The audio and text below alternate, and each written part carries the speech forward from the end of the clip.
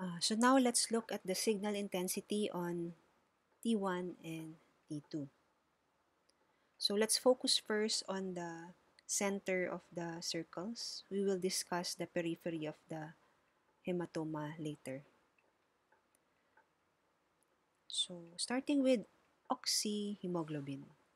Oxyhemoglobin, no unpaired electrons. So electrons are happy. No interest for dipole-dipole interaction. Um, the clot is water-rich with a little bit of protein secondary to the blood content protein. So it is T1 isointense. Um, it exhibits no paramagnetic susceptibility since it is diamagnetic. It has uh, water in it, so the clot has increased T2 signal intensity. Iso, bright. Next, deoxyhemoglobin. Deoxyhemoglobin has four unpaired. It is paramagnetic. But because of the dome-shaped uh, heme, there is no dipole-dipole interaction. So it remains iso-intense. Um, what about the T2 signal? The susceptibility inside the cell because of the paramagnetic deoxyhemoglobin is very much different from the susceptibility outside the cell, which contains um, water, which is diamagnetic.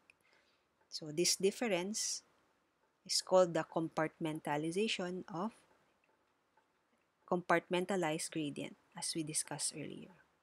Because of this compartmentalization, um, we see a T2 dark signal. So next, what about um, the early subacute? Methemoglobin paramagnetic, un, um, 5 unpaired uh, electrons.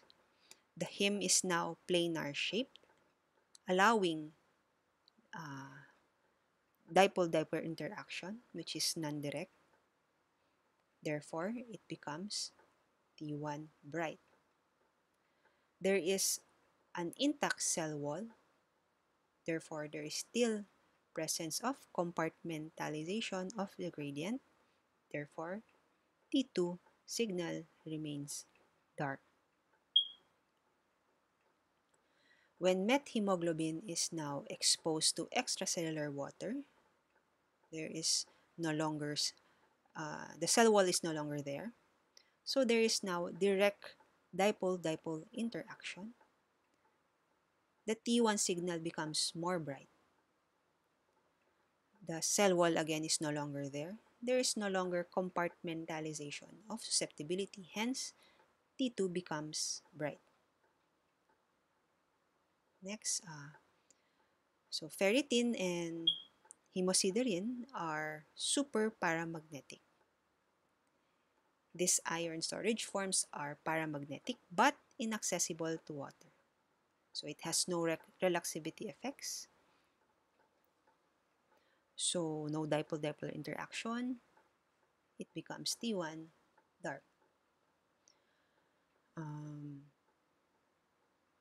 These iron storage forms are also also create local distortion of the signal, hence becomes T2